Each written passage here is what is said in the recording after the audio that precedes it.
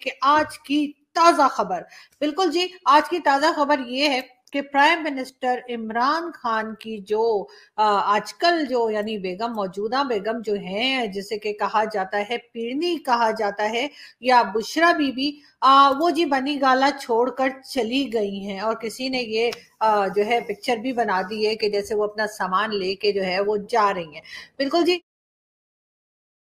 आ, वो अपना सामान लेकर जो है लाहौर के लिए जा चुकी हैं और वैसे तो खान साहब का शादियों में रिकॉर्ड आप जानते ही हैं कि काफ़ी खराब रहा है या फिर अच्छा रहा है। कुछ लोगों को अच्छा लगता है कुछ को खराब लगता है लेकिन खैर हमें कुछ भी नहीं लगता।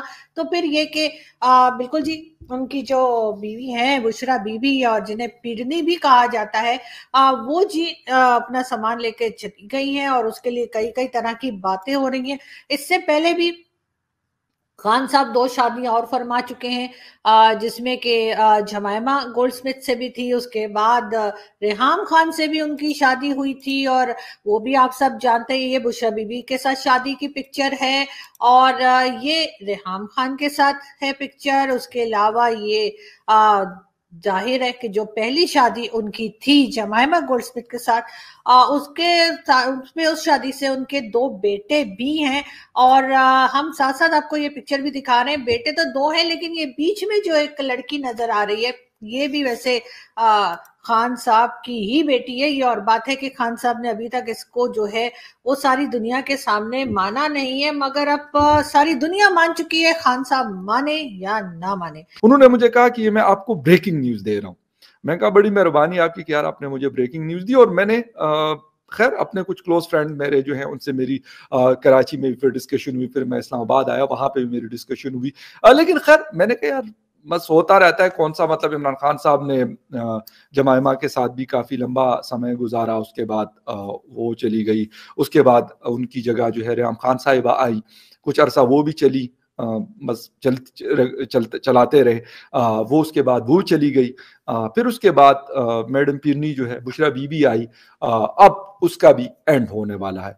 मसाइल बहुत सारे थे क्योंकि बनीगाला एक बड़ी अजीब सी जगह है, अजीब सी एक दुनिया में कहूँगा, उसकी है इमरान खान साहब का अपना घर है, कुछ भी करें, वो हमें उससे कोई गरज नहीं है। लेकिन इमरान खान साहब एक चीज़ को लेके चलते हैं उनके यार, दोस्त, जो करीबी, बहुत करीबी दोस्त होते हैं, जो बहुत ही साथ उनका देते हैं, सब कुछ करते हैं। तो ये कहते हैं कि इमरान खान साहब का एक एक माइंड सेट है। वो जब ये देखते हैं कि यार अब मतलब इस बंदे से मैंने ये काम लेना है अगर ये मेरा काम हो गया पूरा तो फिर वो हमारे यहाँ कहा जाता है, बाढ़ में जाए नूरा। तो फिर उसके बाद उनकी कहानी जो है, वो खत्म कर देते हो। तो खैर एनी वे इमरान खान साहब का लगता है कि वो मिशन कंप्लीट हुआ। लेकिन यहाँ पर सिर्फ़ बुशरा बीबी साहिबा का जाने का वो सिस्टम नहीं है। क्योंकि बुशरा बीबी साहिबा को भी कुछ चीज़ें नज़र आती है उनको भी लाया गया था। अब एंड ये हुआ कि बुशरा बीबी जब गुजशत रात निकली है अपने उनका घर क्योंकि अबाई शहर जो उनका है वो लाहौर है वहीं से वो आई थी और वहीं पे वो वापस चली गई। मगर खैर हम एक का वीडियो पहले देखते हैं और फिर हम आगे आपसे बात करते हैं। अस्सलाम वालेकुम। मैं बुशरा पिंकी आप लोगों से मुखातिब हूँ। खातून अव्वल बनने के बाद ये कोई पहला लंबा चौड़ा खिताब है जो मैं कर रही हूँ, और शायद आखिरी भी हो। मैं आप लोगों को बताना चाहती हूँ कि खान साहब एक नहायत सादा तबीयत आदमी है बेनतहा सादगी उनकी तबीयत में। यानी कि आप ये समझिए कि मैं सुबह उठ के फजर की नमाज़ पढ़ के और चाय दम दे लेती हूँ। तो खान साहब ने कहा है कि दो प्याली चाय हम दोनों मियाँ बीवी को चाहिए, तुम डेढ़ बनाया करो, आधा कप चाय का बचा करेगा पौनी पौनी प्याली दोनों पी लिया करेंगे। मैं हॉट पॉट में चाय दम नहीं देती, मैं टिकोजिया नहीं चढ़ाती, मैं खान साहब का मोजा चढ़ा देती हूँ। चाय गर्म रहती है और एक अजीब सी खुशबू होती है। काफ़ी देर तक दिमाग पे एक नशा से रहता है।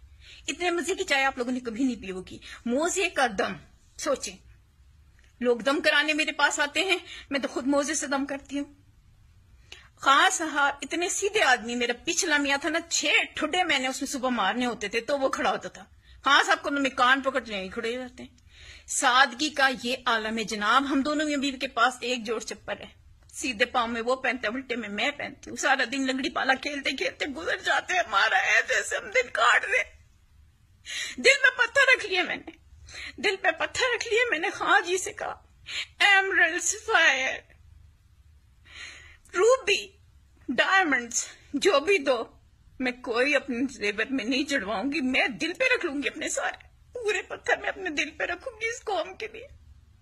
बड़ा प्यार है हमारी इस कौम से। और अगर जो आप लोगों ने मेरे बारे में कोई बकवास की ना, मौत किलो से ये वीडियो हमने आपको दिखाई और बुशरा बीबी की बड़ी ज़बरदस्त किसी ने पैरोडी की है। लेकिन साथ साथ हम ये भी बताते चलें कि जी बहुत सारी खबरें गर्दिश कर रही हैं और वैसे तो लोग कहते हैं कि जी, ये बड़ी उम्र में लोग शादियाँ क्यों करते हैं? एक बुज़ुर्ग थे उनको किसी ने पूछा कि बाबा जी आप बार बार बार बार शादियाँ क्यों करते हैं? वो कहते हैं, पुत्र, जब मैं बारात लेके जाता हूँ और लड़की वाले कहते हैं कि, जी, लड़का आ गया, लड़का आ गया तो वो सुन के बड़ा अच्छा लगता है। मुझे लगता है कि खान साहब के साथ भी कोई इसी किस्म का मसला है और खान साहब भी लड़का आ गया, लड़का आ गया सुनना चाह रहे एक चीज़ और भी है कि इमरान खान साहब की हुकूमत का जो मुश्किल टाइम है, क्योंकि इस्टेब्लिशमेंट भी कुछ ज़्यादा आजकल लिफ्ट नहीं करा रही। इसके साथ साथ अपोजिशन भी कोशिश कर रही है कि इमरान खान साहब को टफ टाइम दे। तो मुझे लगता है कि जो मैडम बुशरा है, उनको भी अंदाज़ा शायद हो गया कि अब ये किश्ती जो है, ये माइट भी पॉसिबल कि ये डूबने वाली है और इसमें सुराख होना शुरू हुए हैं। जो लोगों को खान साहब की अगली शादी का सुन के कि जी अगली शादी भी होने वाली है और उसके लिए भी जो है उन्होंने जी बिल्कुल दुल्हन जो है मेरे ख्याल है सेलेक्ट कर ली है और काफ़ी लोग जो है वो इस बारे में बात भी कर रहे हैं। और लोगों का ख्याल है कि जी सानिया नश्तर जो कि खान साहब की एहसास प्रोग्राम चलाती हैं, उनके बारे में भी बात की जा रही है कि शायद अगली बेगम जो है वो सानिया नश्तर होंगी। लेकिन आ, कोई कंफर्म नहीं है। हम आ, आपको इन्फॉर्म करते रहेंगे कि क्या हो रहा है। लेकिन हमने यही सुना है कि जी आ, खान साहब जो अगली शादी करने जा रहे हैं वो आजकल कुछ कुची को कुची को चल रहा है। वो उनके और जो एहसास प्रोग्राम की उनकी कहना चाहिए कि हेड है जो उन्होंने खान साहब ने बनाई है।